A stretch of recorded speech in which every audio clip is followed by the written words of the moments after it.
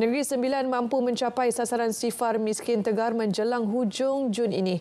Menteri Besar Datuk Seri Utama Aminuddin Harun berkata ia susulan pelaksanaan pelbagai inisiatif dan program dengan menyediakan pekerjaan kepada kelompok terlibat. Setakat ini 77 ketua isi rumah masih berada dalam kelompok miskin tegar. Tanya bila pula kan?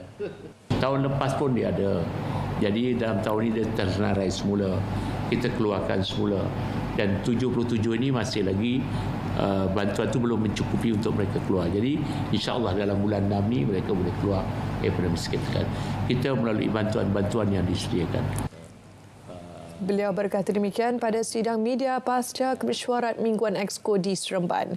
Pada tahun ini juga, pusat kitar semula padu lalu di kawasan komuniti iaitu program kita semula barangan termasuk minyak masak mampu membantu golongan berkenaan untuk menambah pendapatan.